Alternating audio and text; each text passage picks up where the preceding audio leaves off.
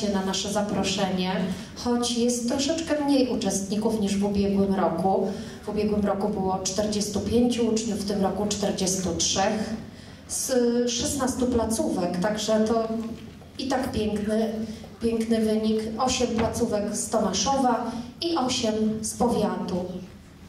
Chciałabym wszystkich serdecznie powitać i o takie oficjalne otwarcie poproszę panią dyrektor Szkoły Podstawowej nr 12, która jest organizatorem tego pięknego konkursu. Bardzo się cieszę, że przyjęliście to zaproszenie, E, a to dlatego, że mm, ten konkurs jest specyficzny, e, bo łączy w sobie i sprawdza troszeczkę też Waszą znajomość języka angielskiego, to raz, ale po drugie Waszą wrażliwość literacką, Waszą wrażliwość na poezję. Dlatego też myślę, że warto w takich właśnie konkursach startować. Mogłabym powiedzieć, ponieważ z wykształcenia jestem polonistką, że nie ma to jak konkursy recytatorskie, nasze małe, większe konkursy recytatorskie, gdzie e, właśnie po, wyrażacie pięknie się w języku ojczystym. Niemniej jednak ogromnie cieszę się, że tutaj postanowiłyście się sprawdzić także po angielsku. It goes like this,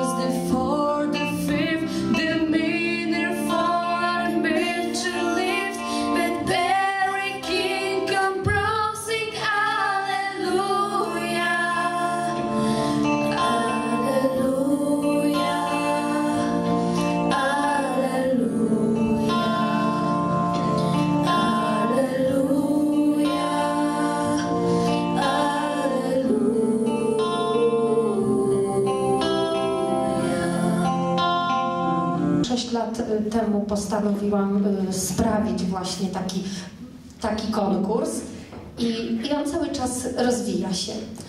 Y, Ja chciałabym przedstawić jurorów. Mamy jak zwykle profesjonalne jury. Tak. Y, Witam serdecznie przedstawiciela Polanglo, który współpracuje z Oxford University Press, pana Sławomira Dylewskiego. Witam naszą perełkę, Amerykankę, panią Stefanię Guzda. Wiecie, no już tak będzie patrzyła takim okiem bardzo językowym, prawda? I przeurocze nasze młode panie nauczycielki, które, które pierwszy raz zasiadają chyba w takiej komisji, ale myślę, że będzie to dla nich ciekawe doświadczenie. Witamy panią Ewelinę Sidwę oraz panią Kamilę Szymańską. Szósty powiatowy konkurs recytatorski poezji w języku angielskim. Otwieramy.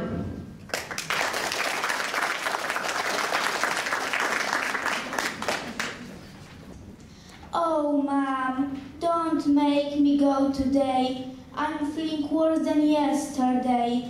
You don't know what I'm going through. I've got a strange, rare case of flu. My body aches, my throat is sore. I'm sure I'm knocking on death's door. You can't send me to school. That's true, cause everyone could get it too.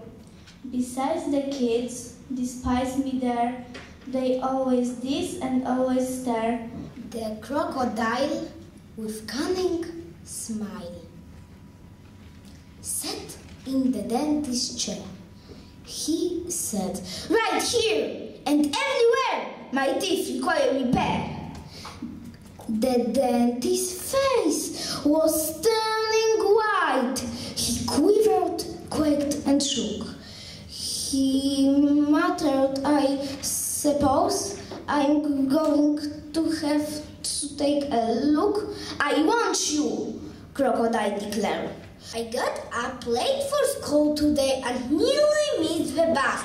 I hurried down the stairs with my thirst accused a fast.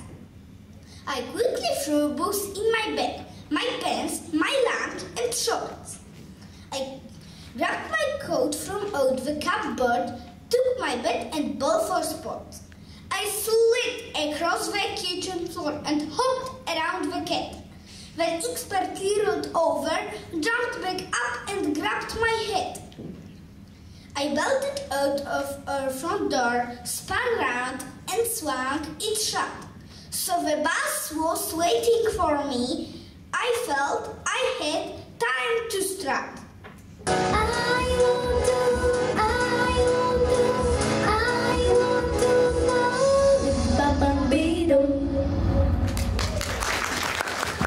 Get out of bed, you silly fool. Get, get up right now. It's time for school. If you don't dress without a fuss, I throw you naked on the bus.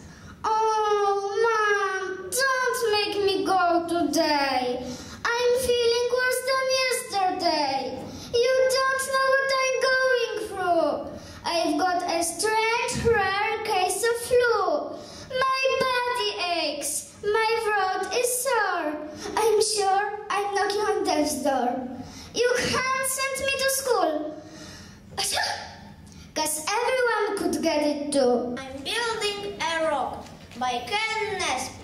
I'm building a rock. As soon as I'm done, I'm taking my friends on a trip to the sun. But what do you mean? That the sun is too hot? Oh, well, I suppose I just pick a new spot. I'm building a rocket. I'm finishing soon and taking my friends on a trip to the moon. I have that mouse, said the biggest cat. You have that mouse? We'll see about that. I will have that mouse, said the eldest son. You shan't have that mouse, said the little one.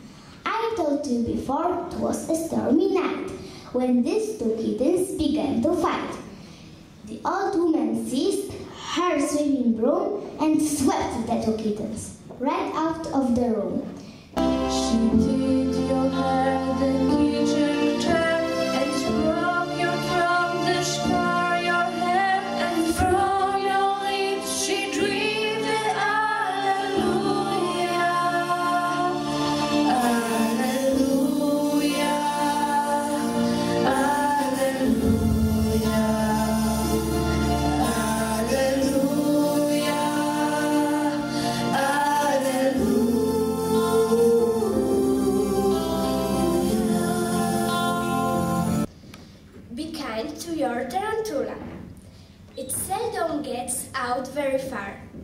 so take it with you in the car.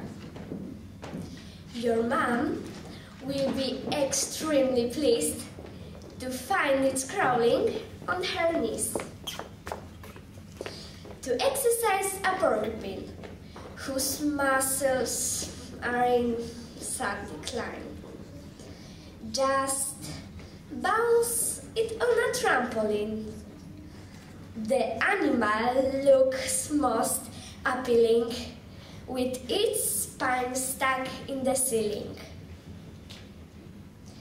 Piranhas will get stressed and frotter without some time for play and slaughter, as by Shel Silverstein. Me and him, him and me, we're always together.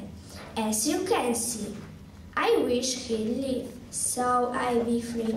I'm getting a little bit tired of him, and he may be a bit bored with me. On movies and ladies, we cannot agree. I like to dance, he likes to ski. He likes to ski. I he likes the mountains, I love the sea. I like hot chocolate, he wants his tea. I think my dad is a Dracula by Ken Nesbitt. I think my dad is a Dracula. I know that sounds insane, but listen for a moment and allow me to explain. We don't live in a castle, and we never sleep in case. But still, there is something wild about the way my dad behaves. I never see him go out in the daytime when it's light. He sleeps all day till evening Then he leaves the house at night. I'm Billy Dick Arrowcat, Ken Nesbit. I'm Billy Dick Arrowcat as soon as I'm done. I'm taking my friends on a trip to the sun. But what do you mean? The, that the sun is too hot. Oh well, I suppose I just pick a new spot. I'm Billy a rocket. I'm finishing soon. I'm taking my friends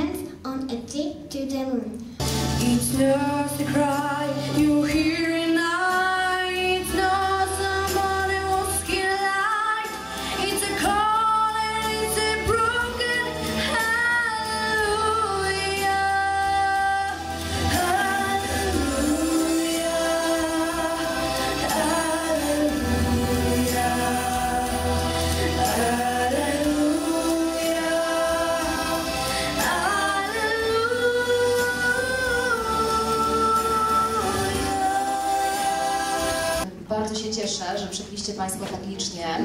E, Na początku od razu chciałabym podziękować bardzo Pani Agnieszce Promickiej, która jest organizatorką po raz szósty tego konkursu. Konkursu przygotowywanego przez Szkołę Podstawową nr 12 oraz przez Ośrodek Kultury Tkacz. Ale także podziękowania należą się e, innym instruktorom Ośrodka Kultury, którzy tutaj wspierają, e, wspierają silnie pomagają na każdym, e, na każdym kroku. Wielkie podziękowania dla Was, dla Państwa, dla nauczycieli, którzy na co dzień e, uczą e, języka angielskiego. Chciałbym bardzo serdecznie wszystkim uczestnikom pogratulować, bo znajomość języka jest niezwykle ważna. Moje pokolenie szczególnie to odczuwa, ponieważ jesteśmy w tym względzie daleko, daleko w tyle od krajów, w których właśnie języki, szczególnie angielski, były mocno preferowane, żeby szczególnie młode pokolenie uczyło się od najmłodszych lat. My tego szczęścia nie mieliśmy, uczyliśmy się języków zachodnich dopiero z szkoły średniej i efekty są takie, że niestety mamy w tym względzie duże braki. Dlatego jeszcze raz bardzo serdecznie gratuluję wszystkim uczestnikom, szczególnie również tym, którzy nie będą tutaj na pudle po ogłoszeniu rezultatów dzisiejszego konkursu. Hasłem dzisiejszego dnia e, jest to, że wszyscy jesteśmy zwycięzcami. Wszyscy się na co dzień uczycie, macie możliwości porozumiewania się na wyjazdach prywatnych. W przyszłości mam nadzieję, jak pójdziecie do szkół wyższych, nie tylko na prywatnych, ale coraz częstsze są wymiany młodzieży, więc na pewno, na pewno język się bardzo, bardzo przydaje. Przekazuję już głos Pani Agnieszce Tromickiej. Jeszcze raz wielkie, wielkie dzięki. Dziękuję bardzo. No i cóż, nagradzamy. Zaczniemy od wyróżnień w kategorii klas trzecich i czwartych. Wyróżnienie dla Rity Wyśniewskiej. Zuzanna Szymańska. Zapraszamy Zuzię.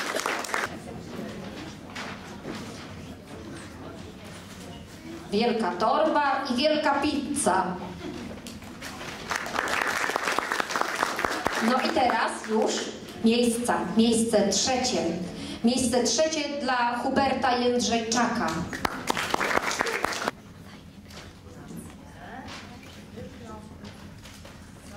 I proszę pizzę.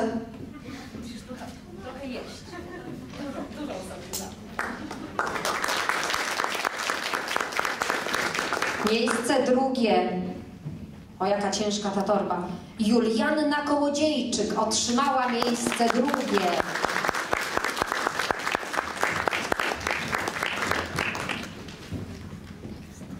Julianna będzie musiała zjeść sama tę pizzę, żeby tę torbę dać radę nosić.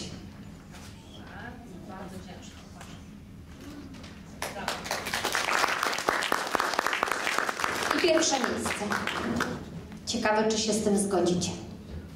Jak tak, to bardzo głośno klaszczcie. Jeśli nie, to jeszcze głośniej. Antonina Wolska.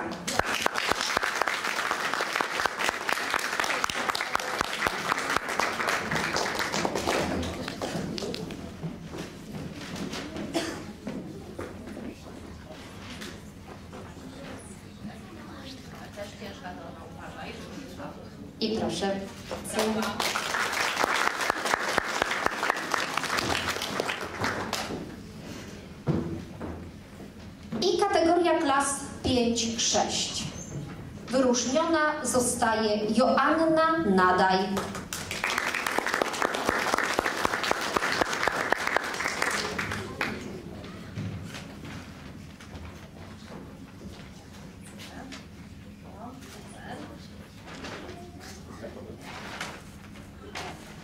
Kolejne wyróżnienie wędruje do Anny Kowalskiej.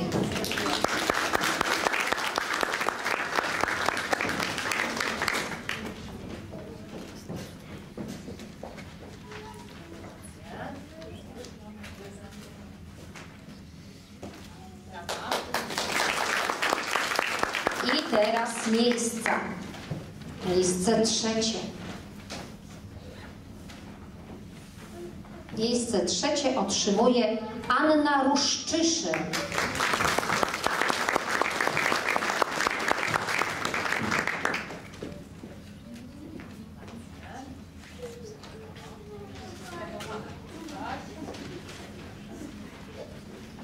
Miejsce drugie Jakub Woźniak.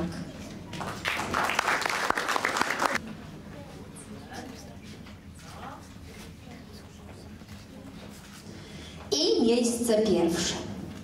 Miejsce pierwsze otrzymuje w tym roku Natalia Wawrzyniak.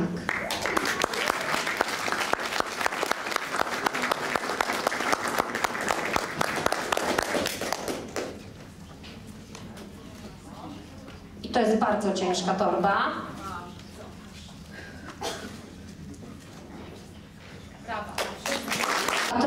Tegoroczny konkursu objął pan prezydent miasta Tomaszowa Mazowieckiego Rafał Zagozdon oraz starosta tomaszowski pan Piotr Kagankiewicz.